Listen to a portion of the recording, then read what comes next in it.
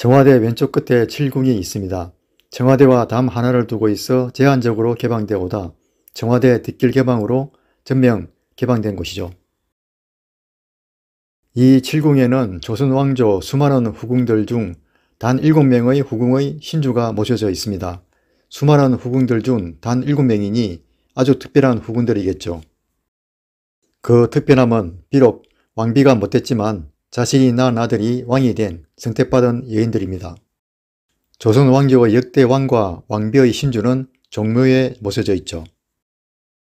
그런데 이들 특별한 후궁 7명은 왕을 낳았기에 일반 왕족보다는 위상이 높지만 정비가 아니어서 종묘에는 들 수 없기에 별도의 사당이 필요했고 그것이 바로 왕실의 사묘입니다.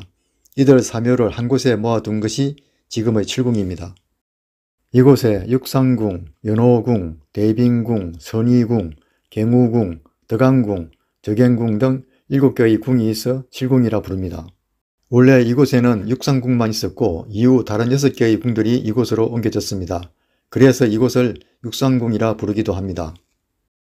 이곳 터줏대감격인 육상궁은 영조 때 조성됐습니다. 영조는 즉위 1년인 1725년 어머니 숙빈 채씨의 사당인 숙빈묘를 현재 자리에 세웠죠. 이후 육상묘로 이름을 바꾼 뒤 묘를 궁으로 승격시켜 육상궁이 됐습니다. 모두 영조가 생전에 자신의 생문을 위해 한 일입니다.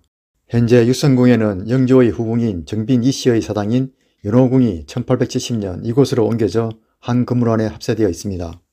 이들은 시어머니와 며느리 사이죠. 왼쪽에는 시어머니인 숙빈 채씨 신주, 오른쪽에는 며느리인 정빈 이씨의 신주가 있고 건물 편에게는 연호궁으로 적혀 있습니다.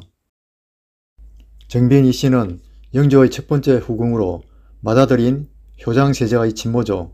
영조가 왕이 되기 전 연인군 시절에 첩이되어 아들을 낳아 후궁이 된 경우죠. 영조는 본부인 정성왕후에게는 정을 주지 않고 단 한 명의 자식도 낳지 않았지만 정빈 이 씨는 애지중지 여겨 왕이 되기 전 5년여의 기간에 모두 1남 2녀의 자녀를 낳았죠. 그래서 정빈 이 씨를 영조의 첫사랑이라고도 합니다. 그런데 정빈 이씨는 영조가 왕이 되기 3년 전 28세의 나이로 사망합니다. 그녀의 외아들인 효장세자도 영조 즉위 4년 되던 해 10살 어린 나이로 요절합니다.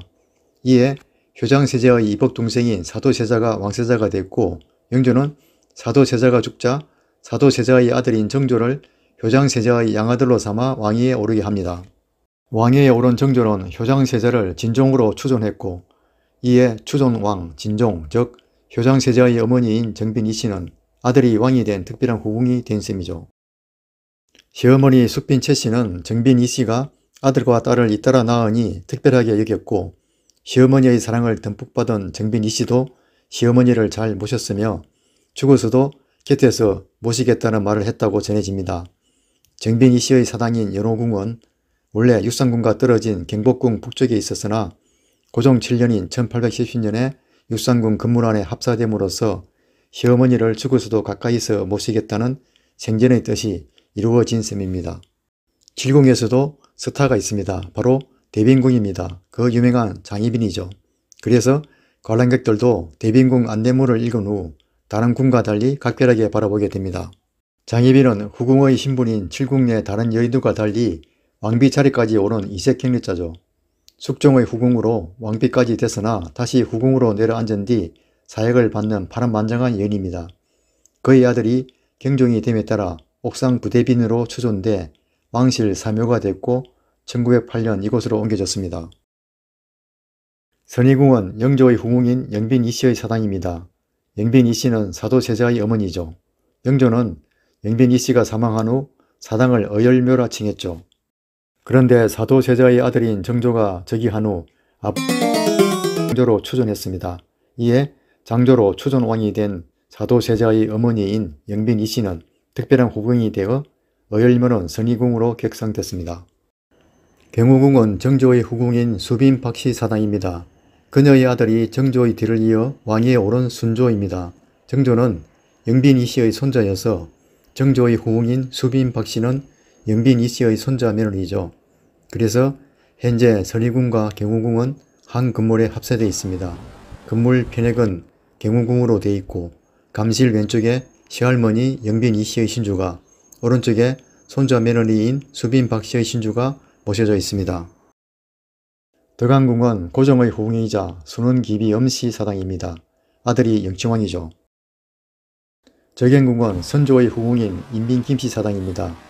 인빈 김씨는 인조의 아버지인 정원군을 낳았고 훗날 인조가 왕이 된 후 아버지 정원군을 원종으로 추존해 원종의 어머니인 인빈 김씨가 왕을 낳은 후궁 반열에 오르게 됐죠.